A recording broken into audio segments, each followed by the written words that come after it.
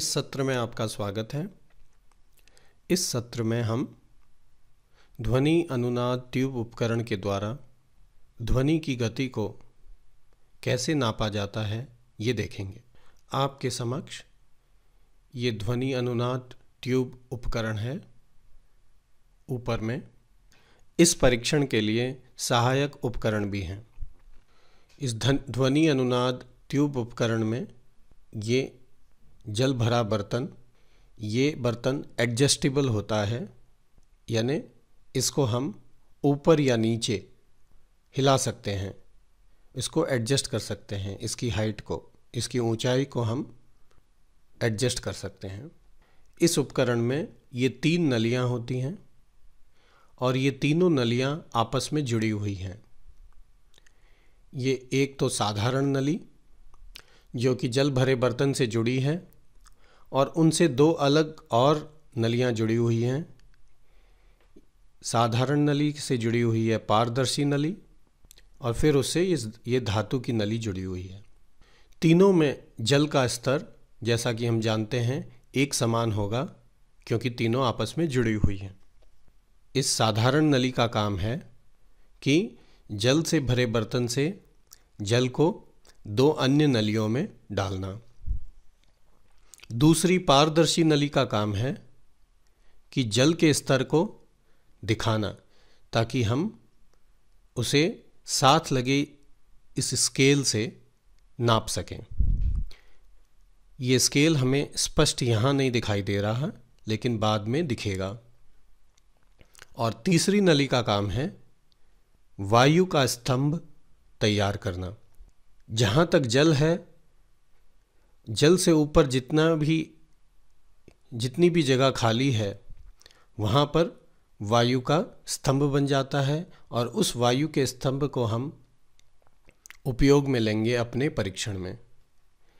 नीचे में ये सहायक उपकरण है। ये जल से भरा हुआ एक बीकर, विभिन्न आवृत्तियों वाले अलग अलग ट्यूनिंग फोर्क। ये ट्यूनिंग फोर्क एक निश्चित आवृत्ति की ध्वनि उत्पन्न करते हैं जब इन्हें हम इस रबर पैड पर हल्के से इस, इसको टकराते हैं। तो ये परीक्षण कैसे होता है इसको आइए हम विस्तार में देखते हैं। अब हम इस बर्तन में जल डालते हैं जो पारदर्शी नली एवं धातु की नली में पहुंचेगा। बर्तन को ऊपर या नीचे एडजस्ट करने पर जल का स्तर भी अपने आप उसके अनुरूप एडजस्ट हो जाता है।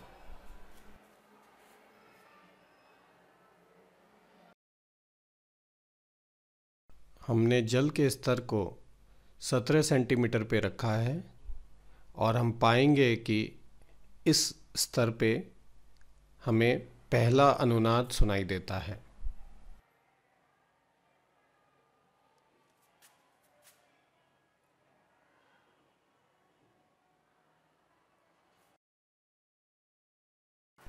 हम 512 हर्ट्ज़ की आवृत्ति का ट्यूनिंग फॉक प्रयोग में लेते हैं।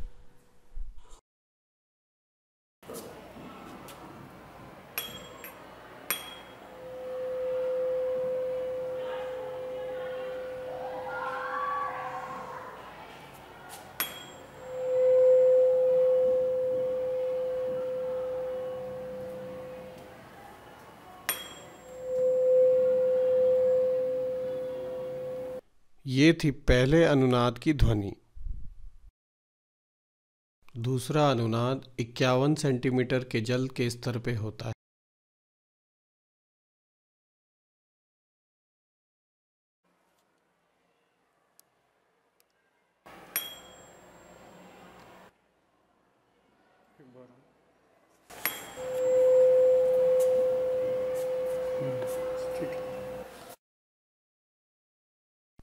ये है हमारा ऑब्जर्वेशन टेबल हमने 512 हर्ट्ज़ की आवृत्ति वाला ट्यूरिंग फॉक उपयोग में लिया। हमारी पहली रीडिंग 17 सेंटीमीटर यानि दशमलव एक सात मीटर था। हमारी दूसरी रीडिंग इक्यावन सेंटीमीटर यानी दशमलव पाँच एक मीटर था। और इस तरह तरंग दैर्घ्य, यानी वेवलेंथ दशमलव छः आठ मीटर हुआ और आवृत्ति गुणा तरंग दैर्घ्य, यानी फ्रीक्वेंसी इंटू वेवलेंथ बराबर तीन सौ अड़तालीस दशमलव एक मीटर प्रति सेकंड निकला। ये सारी रीडिंग हमने 25 डिग्री सेंटीग्रेड के तापमान पे ली थी।